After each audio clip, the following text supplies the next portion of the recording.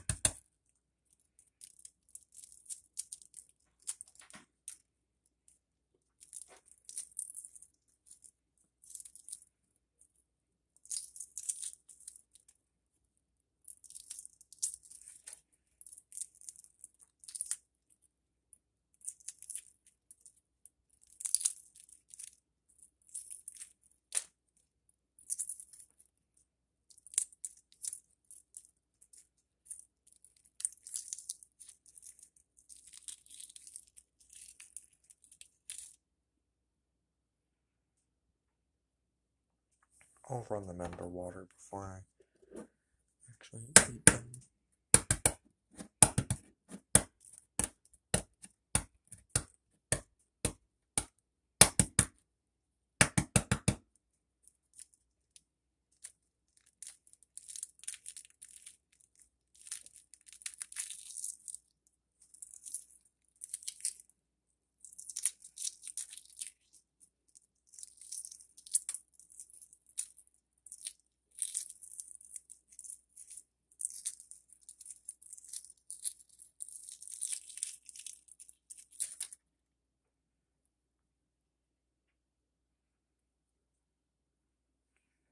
Yeah, I've got to run those underwater because there's still a lot of shell on them.